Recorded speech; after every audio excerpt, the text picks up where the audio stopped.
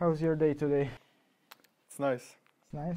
So now we have to switch to English because we're actually working. Okay. Dear audience, t- my today's guest, Vladyslav Stelmakh, is a member of high school boys basketball team. Okay. So tell me about uh, the game on Friday. I think it was on last Friday when you had a fight during the game, and then you we celebrated your birthday, right? Yeah. Th- thanks for inviting, by the way. Yeah. Uh, well, you know, um, we played an away game. It was our first away game, and uh, the team was pretty good. They were probably the best team we played this year. Um, they brought. They started the game with a lot of energy, and uh, we just weren't ready for that. Our defense struggled, and we struggled on the defensive end. Uh, that's why we lost that game mainly. Um, but overall, the game was very nice. We learned a lot of it, a lot of mistakes, and we're working them to fix them by CEESA and to do better on CEESA. And after that, our team we went to the center to celebrate my birthday. Uh, my birthday was on Monday of that week, and we went on Friday and we celebrated as a team, and it was nice.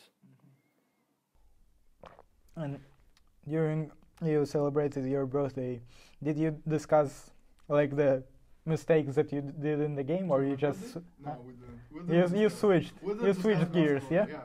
Yeah, yeah. Okay, that's nice. Okay, Vlad, how long are you on the team, and how long are you a part of starting five in particular? Well, I I'm on the varsity team since freshman year, and uh, on the freshman year I spent all the year on the bench. But um, starting from my sophomore year, I became a starter, and I play basketball since 11 year old, so it's uh, six years. And do you take any other sports aside basketball? Well, I tried volleyball for two years, and um, I also used to do swimming. So, and do you do any workout or like do you work on your Yeah, off season when there's no basketball season, I usually spend my evenings in the gym and work out and do cardio and everything. Okay, and what what other interests do you have in general aside basketball? Aside basketball, well, um, not that many actually. I used to play games before on my computer, but then when I came to high school, I stopped doing that. So now it's mainly school and basketball. Also, I like spend time with family, friends. That's what everyone does, I think. Yeah. Would you name yourself an organized person? Yes. Yes. So, I'm very organized. Um, my computer, all the files are in the folders, everything. My room is clean. I don't like mess. And you came, you're coming on trainings on time, Yes. like always. Yes. Nice. How do you do that? Well, I just, um, no, I have a habit of coming to events earlier than later. Uh, I don't know. I kind of feel better when they come earlier, and I just wait for everyone. So I used, like, I usually come to morning practices, which we have every Tuesday. I come earlier than seven, and I just like warm up. I just spend some time with myself, like warming up, uh, doing stretching, different exercises. Mm-hmm. And since you're like so much into basketball, are you planning to continue playing after you graduate from from high school, or you just will make a pause there? Well, you know, I had an idea of playing at the college, but once again, um, it's not very easy to get to a college team. If I'll have a chance, if they'll like take me, yeah, then yes, of course. But if I like no, I wouldn't even like try. And do you have any, any ideas where you're actually planning to go? Yes, uh, to Canada or States. Vancouver. Yes. I I heard some rumors of it. I'm going to Vancouver next year also, but apparently I will study there for one year and then we will not meet there anyway. So unfortunately. But uh, have you applied somewhere already or no? No, not yet. Not yet. I'm a secondary three student, and I still have. Doesn't matter. So Yeah, some of them apply in the sophomore years, yeah, um, which I don't understand why. But Just waiting for next year, and then I'll see how things will go. Maybe I'll change my um, opinion and I'll go somewhere else. Maybe Europe, maybe somewhere else. and now, what's your area of interest? of Area what of j- interest? job you want to get? Job, I want to do urban planning, architecture, design. I'm interested in that.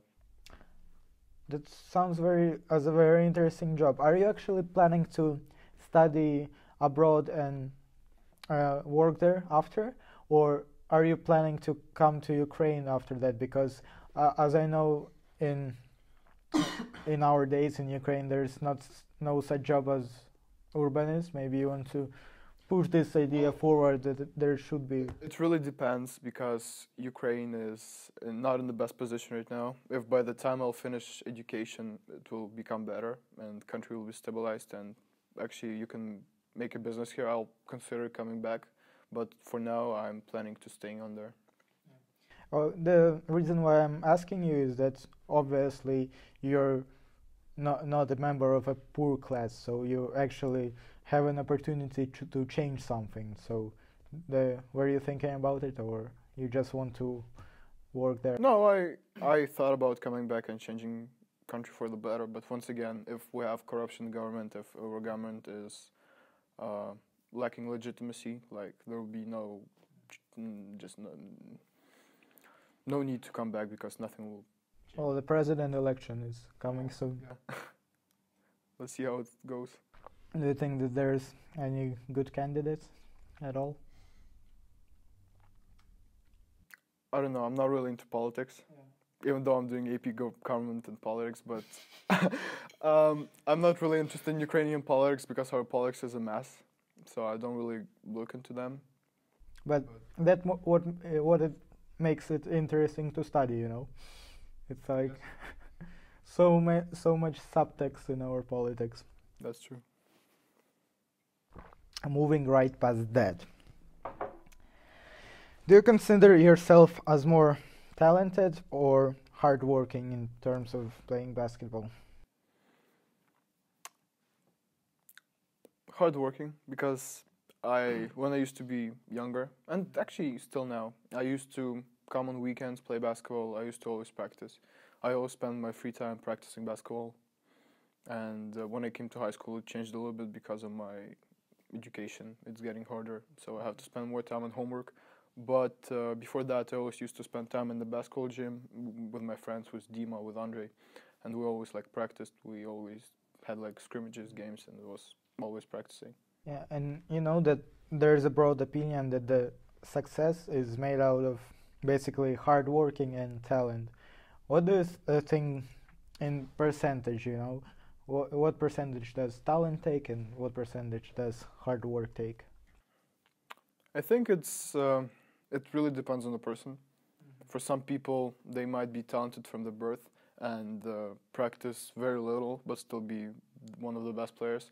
And for some people, they might be just practicing really hard all their lives, and then they will achieve what they wanted to.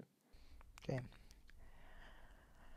I, I've been talking to many guys already. By the way, uh, this is the last interview that I take in this set, which makes me really sad because, like, from the first point of view, it's finally over. So we don't have more videos to edit because it's just nightmare to edit all those videos.